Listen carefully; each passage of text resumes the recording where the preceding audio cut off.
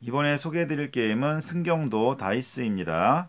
자, 승경도는 조선시대 다양한 관직을 얻으면서 최종 봉조하라고 하는 관직을 얻는 플레이어가 승리하는 게임인데요.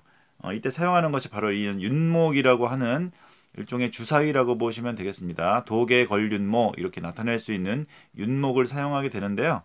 어, 요거는 학생들이 다 활용할 수 없을 것 같아서 어, 주사위로 할 수 있도록 한번 판을 만들어 보았습니다.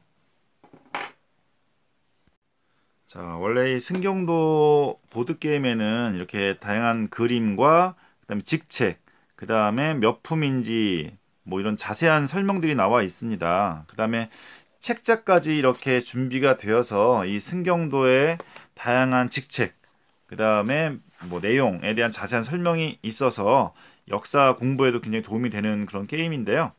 자, 이건 뭐 다 전체 학생들이 가지고 할 수가 없기 때문에 이거를 간단하게 다시 만들어 보았습니다. 그래서 어, 일단은 주사위로 플레이할 수 있도록 각 칸마다 어, 주사위 눈을 이렇게 배치를 했고요. 1부터 6까지 배치를 했고요. 그 다음에 각 메뉴에 따라서 뭐 어, 상소나 아니면 청백리 같은 것도 카드로 만들지 않고 이렇게 메뉴를 만들어 넣었습니다. 그 다음에 여기 위에 특별한 그 메뉴가 있을 지에는 밑에다가 내용을 간단히 적어서 따로 찾아보지 않아도 어, 알 수 있도록 좀 배치를 했어요. 그래서 이것만 가지고 카드 따로 없이 할 수 있도록 한번 만들어 보았습니다. 그 다음에 어, 승경도에 사, 용했던 용어는 그대로 일단 사용했습니다. 뭐 파직, 서용, 유배 뭐 이런 것들 그대로 사용했고요.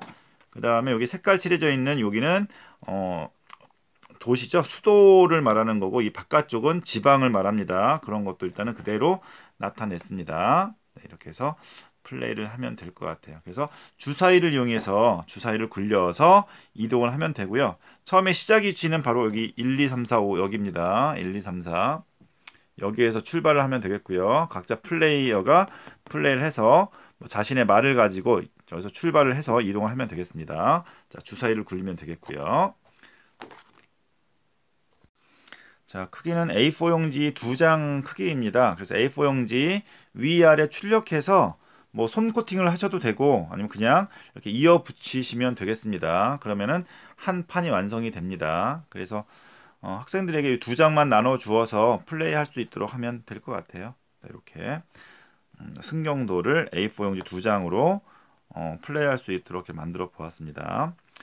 자, 그 다음에 여기에다가 한번 테마를 한번 마블 테마로 한번 바꿔 봤거든요. 뭐 간단하게 한번 마블 테마로 바꿔 보았습니다.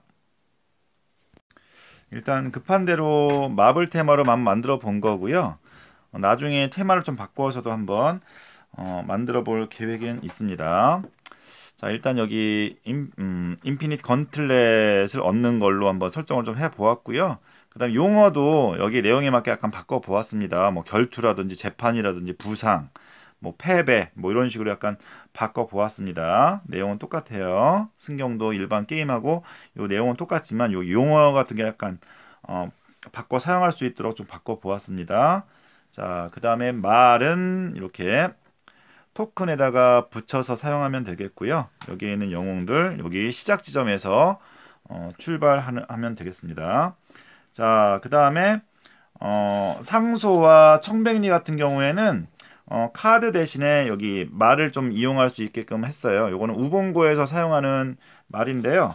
자, 빨간색은 다른 사람을 공격하거나 방해하는 것을 뜻합니다. 그래서 상대방이 멀리 이동할 때, 멀리 이동할 때 이걸 내면은 방해를 할 수 있겠지요. 네, 그런 용도로 사용하시면 되겠고요. 한 명이 게임 중에 여러 개를 얻을 수도 있습니다. 이렇게 얻어지게 되고요.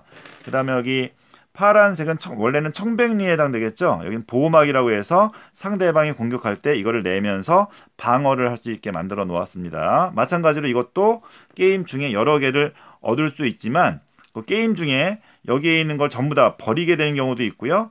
어, 다른 플레이어에게 한 개씩 빼앗기기도 하고 그렇게 진행이 됩니다. 그래서 일반 승경도 게임하고 똑같은데 약간 어, 테마를 이렇게 마블로 바꿔서 재미있게 활용할 수 있도록 바꿔 보았어요. 자, 제가 이 승경도 게임을 뱀 주사위 놀이라고 생각을 한다고 설명을 해드린 적이 있는데 마찬가지로 뭐 주사위만 굴려서 이렇게 6이 나오면 여기 번호 6번에 있는 거를 따라서 가면 되기 때문에 어렵지 않게 플레이할 수 있을 것 같습니다. 그래서 어, 학생들에게 이 승경도라고 하는 게임이 뭔지 처음에 접할 때 이렇게 안내를 해주고 나중에 기회가 되면 우리나라 이 승경도 게임이 어떤 점이 우수한지 그 다음에 원래 이 승경도 게임 이 보드 게임이 있으면 좀 더 함께 내용을 좀 더 살펴보면서 자세히 이야기 나누는 시간을 가지면 더 좋지 않을까 생각해 봅니다. 그래서 승경도 마블 테마로 바꾸었지만 우리나라에 그 승경도라고 하는 좋은 게임이 있다라는 것 꼭 학생들에게 안내를 해주면서 즐기시면 좋을 것 같습니다. 그리고 어, 승경도라고 하는 이런 아주 간단한 룰로 할 수 있는 게임이기 때문에 요 마블이 아니라 다른 음, 테마로 어, 재미있는 테마로 바꾸면 좋겠다 하는 생각은 드는데 지금 당장 떠오르는 생각은 없어서 간단히 바꿔 보았습니다.